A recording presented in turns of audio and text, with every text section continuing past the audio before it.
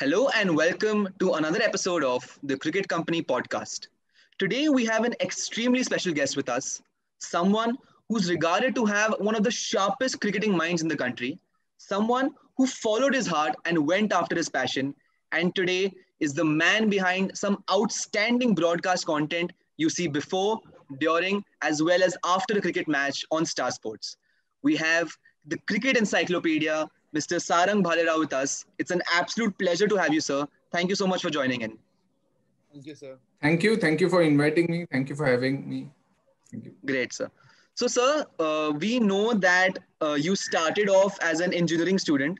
You worked in Infosys for two years.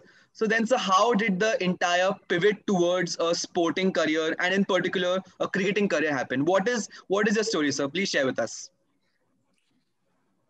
Well, first of all, uh, like any engineer, I wanted to uh, get a good job and do well, earn some money, and uh, possibly go to the United States. Uh, but uh, the problem here was I wasn't enjoying what I was doing. Uh, nothing against Infosys, but it was a, a nine to five job, and I think it was devoid of challenges. I felt so. The one of the things that I wanted to do when I was in Infosys was to develop some hobbies. So I was playing cricket and uh, reading a lot about it. And uh, I started a blog which wasn't really doing well, uh, but I wanted to write. I wanted to express uh, my thoughts about the game. Uh, and there was one uh, cricket quiz at Infosys. And I cracked that quiz. I answered almost everything, and it wasn't an easy quiz. So I just I introspected and I thought possibly this is where I should make a career because I was I didn't even prepare for the quiz. I later learned that a lot of the participants had prepared and uh, they wanted to crack the quiz. But here I just walked in and uh, could uh, answer almost everything. I think I missed just one sitter, but uh, apart from that, uh, I think I, I, pretty much answered everything. So there, uh, I think I had a thought that uh, why should I uh, give up on this if I am good at this? And I did not know what to do. So I just wanted to take the plunge. MBA was some other thing which uh, was in my mind, uh, doing an MBA and uh, becoming a manager. So it was just another story in the IT sector, engineering, IT, MBA but I thought uh, if I could just give myself an, a couple of years and see where this is headed. I did not really have any plans. I did not know what to do. So I think somewhere uh, my inner voice told me that, okay, you should take a chance. And I took a chance. So that's where it all started uh, cricket quiz. So I urge everyone to participate in cricket quizzes if they no, it, it's accident. It, it is an accident, happy accident. But I think I took a chance and it came off.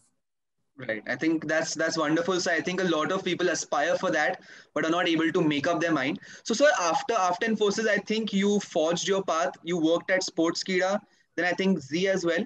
So how was how was that journey like? Did you at any point in time regret changing your stream uh, because of various issues, or were you like, okay, this is my calling? Well, uh, then what happened was I actually left my job and I had absolutely nothing in hand. And uh, that was the time when I was uh, trying a few things. Uh, the number one thing being uh, wanting to join some MBA college. But uh, I had uh, plans of taking a break and enrolling myself for a course. So I joined Xavier's in Bombay, right. the journalism course. So during that time, I attended the course, but my entire attention was going and meeting the editors, wanting to learn uh, things. And uh, if there was a match, say in uh, Mumbai, Wankhede or Brabourne Stadium, maybe write a report and submit it to the newspapers. So I started uh, from these little things. And uh, while I was studying uh, in Xavier's, Sportskeeda had this wonderful platform where you could submit the articles obviously it was not about how much you got paid or what is the uh, salary or nothing of that sort. It was just exposure. So uh, I was uh, enrolled as a writer. I could I submitted my uh, pieces to Sportskeeda. I wrote feature content, editorial pieces, opinion pieces, match reports, stats pieces. So it uh, gave me freedom to just explore. And, and they would uh, promote the articles. And that's how I started having, uh, uh, I think I should say, I started having a footing in the industry. And it was just a small start, nothing great. I, I joined Twitter. In fact, a few people told me that why don't you join Twitter? And I was like, what is Twitter? Uh, this was in 2012. So I joined, I started uh, sharing the articles, I started writing a bit. And uh, then after I finished with my college, I had a couple of offers in hand. Uh, so that's where I took up uh, Cricket Country. Right. Um, uh, I was uh, blessed to have a good editor and colleagues who were uh, same age as mine and uh, i think that sort of started uh, you know the uh, freedom and independence that i got early on in my career. And by doing all of that i figured where i'm uh, where my strengths lie and where i'm not good at and uh, where i needed to work. So i think that's very important. I got good bosses and they would just push me. And sometimes that's all that you need when you have a lot of enthusiasm within you. You want someone who can push you. So i think i was very lucky uh, and uh, that's how my journey started and i never uh, to be honest i uh, never really regretted there were times when i regretted uh, leaving the it sector because there was uh, number one there was you i mean it was comfortable life Number two, starting something all over again is not very easy. It requires tremendous amount of patience, I, I would say. So sometimes when the going got tough, I was like, uh, maybe this wasn't really wise. But then I had given myself a couple of years. I anyway wanted to uh, give it a shot. Right. That's a that's a very inspiring story, sir. Yeah. Hmm. From starting off with sports Sportskeeda to now being the producer at Star Sports, how did that finally take place? Okay, so uh, I was absolutely not looking for a job at Star Sports. Uh, I was happy writing articles. This was at India Times, and all it takes at times is one article for for you to do well. And I had written a couple of them. So one was 25 cricketing facts. Uh, uh, some yeah, that that was the article. Some 25 cricketing facts and i think it got a lot of uh, mileage it got shares and uh, and one was on rohit sharma i think when he uh, scored 264 uh, that time i had written an article and it was a quick article which uh, uh, got viral and i think one of the someone in star sports noticed that and I got a call uh, and they were looking for people for 2015 World Cup. Uh, they wanted to go big. Uh, that time they had plans uh, doing World Cup in many languages, English, Hindi, regional languages. So they wanted to go big. So I think that's when around uh, 2014 uh, November I got got a from Star Sports whether I'd be interested in joining Star Sports and I had doubts because I did not have television experience. So I told them that I don't have television experience. But uh, people over there were very patient, very cooperative. They're like, uh, you can learn this on the job. Uh, even we are learning. So, so for all our viewers watching this, can you please explain what exactly is your role at Star Sports? Like, what exactly does a producer do? Well, there are various kinds of producers, there are non-live producers, there are show producers, and there are match producers. So uh, the roles are different. Now, show producers, they look after every aspect of the show, how the set looks, they work closely with the people involved uh, behind the scenes. Uh, then they design the content, the of the show, what all uh, is needed, say from the stadium, from the ground. All of that uh, they coordinate. They have uh, the VTs, as as you can see the uh, say small packages that you see. So they look after every aspect of the show. The show producers, the match producers, what they do is they look after the content of the match. Uh, when you see what graphics are, they come on air, what the Hawkeye package is. So all of that, a match producer looks after that aspect and rostering the commentators, which stint, which commentators commentates. So it's a teamwork. So uh, that's that's uh, the long and short of producer does, and uh, it's a tough job in the sense that you have to plan, you have to prepare judiciously, well in advance. You have to uh, talk to the experts, and uh, so that's that's what uh, the and we are blessed to have very very very big names uh, in the commentary box. So their inputs how to incorporate their inputs and put it on air.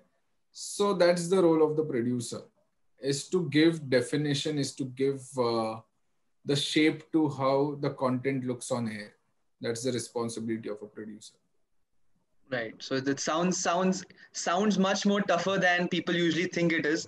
Usually it's like producer, even though you're in the backstage, producer is the one who's calling the shots. So yeah, that's a very important role. So sir, you spoke about. I mean, we are just team. We are, we are just a team. So it's just that uh, effort. Uh, right. So that that's what uh, like in sport, one person cannot define everything. Uh, it has to be you know every person involved in the behind the scenes is equally important be it the audio assistant be it the lights person the director who gives the camera angles right. the talent who's commentating so it's a teamwork everything has to come together for the production aspects and broadcast to look good Right, absolutely. So, so you spoke about big names in the commentary box. I'm sure your role uh, makes you uh, go around with the bigger superstars of the game as well. So, do you remember any anecdote, any fanboy moment which came to you through this role? Well, initially uh, it was a fanboy moment, but quickly I realized that uh, in order to earn someone's respect, your work must speak. Uh, I wouldn't deny that looking at you know former captains and uh, superstars of the Indian cricket right there. Uh, it was a bit overwhelming, and uh, quickly I realized that it's not about clicking photos with them and getting likes on social media. That's not going to work. It is only going to last till your post becomes old, and that's the uh, adrenaline rush and you know so i understood that in order to earn their respect, in order to, and in order to do well, I have to work hard. I have to uh, be good at what I do. So after that, I think it has not been fanboy moment ever. It's just uh, doing my job well. And I think when you do that, you get that respect. Uh, that's what is very important. That's what it matters it's not important if I hang out with these people or I uh, speak well or I click a photo with them. That's not important. Uh, but if I can contribute to the feed, if I can contribute to uh, the match broadcast, if I can help the commentators in some way or the other, and that's how I look at it now, rather than getting overawed by their presence, uh, which I think is a bit overwhelming initially when you just uh, start your career because you know, I've been a biggest cricket fan possibly. Uh, I don't know. I mean, uh, cricket has been my life, uh, like most of the people, and I grew up uh, watching uh, every match. how much ever, ever, I can I could watch to see them in the commentary box. so that that's a little, you know, right. too good to be true but quickly you have to come to terms with the reality and what your job is. So yeah. Right. Absolutely. So you spoke about how you've been one of the biggest cricketing fans. So which has been your favorite cricket match or a particular moment from a match which you always remember? Oh there have been many matches. Uh, i mean uh, i mean if i can uh, start talking about the matches, uh, this will be another episode. But uh, 2011 World Cup, I think uh, that six from Dhoni and the entire campaign that we had, that was absolutely brilliant. Uh, I mean, World T20 2007, no one expected India to win, but they managed to win. But 2011 was one tournament where, uh, I mean, watching every match, getting to know, uh, you know, so much about the sport that time when I, uh, I was in Infosys back then. And I was ardently following every match. And I think India's win in the World Cup possibly gave me belief that, okay, I can chase my dreams. So I had that particular, uh, you know, I was following it closely uh, because uh, I knew that India would win the World Cup the way they were playing. And just to see the semi-final, even the quarter-final for that matter, what a game against Australia. We had never beaten them for 24 years in the World Cup. So to beat Australia, uh, I was confident after we won against Australia that we are going to win the World Cup. So those few days uh, were very, very uh, special as a cricket fan. The semi-final, final, quarter-final, that stage of World Cup. So I think I remember most of the things from those matches. I think all of us can really relate to that. Right, yeah. absolutely. So, sir, like like you said, 24 years India not beaten Australia. You're able to conjure these statistics very easily. Also, you're famous on Twitter for doing these kind of things. I think you had written all the teammates of Sachin Tendulkar, all the teammates of Virat Kohli. Mm. So, where does this knowledge come from? Have you read books, or it's just the normal following of the game? No, I've not read books, but uh, I used to have BCCI statistical annuals uh, as a child. It's a big book that comes every year. You know, those records uh, come, all the BCCI matches that are being played. So book comes. So I used to remember most of the scorecards as a child. Uh, the Ranji Trophy and Duleep Trophy, all those list A matches. So I had this sort of knack of remembering the scorecards and the scores. So it just started off as a hobby, and uh, I maintained a lot of scorecards myself. So it just ha- so happened that I would uh, easily remember the matches, who made the debut, what happened in that game, who scored how many runs. So I think I had uh, I was working on some scorecards and I just thought, okay, why not list out all Sachin Tendulkar teammates?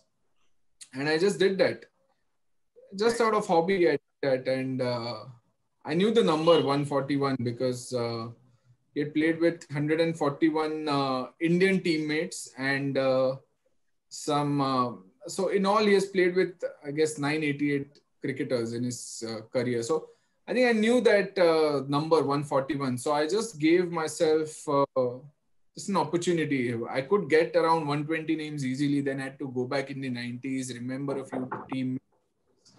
Uh, so uh, I think Saradindu Mukherjee was was one Asia Cup I remember. So like that, I Utpal Chatterjee 1995 Sharjah. He had good Challenger Trophy in India. Respect right. uh, for matches in Sharjah. I played his last at Jamshedpur against New Zealand. So all these matches started to come in my mind, and all those uh, names which are generally difficult to get, I could get them. And I just put it out on Twitter. Uh, and in fact, I just wasn't expecting this to go viral. Uh, in fact, Sachin himself uh, replied on that. Right. So, yeah. So I, it's it's a it's a good small world. I, I guess the cricket fans uh, unite on Twitter. It's like one family. And uh, as long as i contribute to uh, whatever uh, in whatever way on twitter or otherwise be happy to do so. So that's what makes me happy. And it was just one uh, lucky thing that happened. I had never planned for it never wanted attention also but got a lot of attention right that is that is something i think nobody would have imagined anyone to do because it takes a lot of memory and a lot of knowledge so that was that is perhaps why it got that much attention and deservedly so. Yeah. Yeah, yeah. Thank you. So, for all the youth coming in now, people who want to enter the sporting industry, what advice would you like to give the youngsters who want to enter this field? Well, first of all, preparation is very important. A lot of them want to enter the uh, industry without doing groundwork.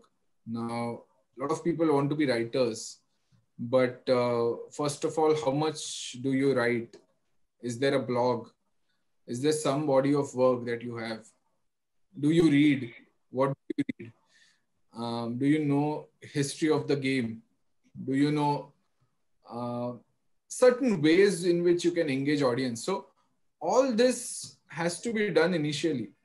I mean, today industry uh, wants people who have done things and done things well. If your blog is doing well, for example, uh, there are websites that will hire you. There's no rocket science. But if you don't have body of work, it is that much more difficult to enter the field. So you have to be prepared.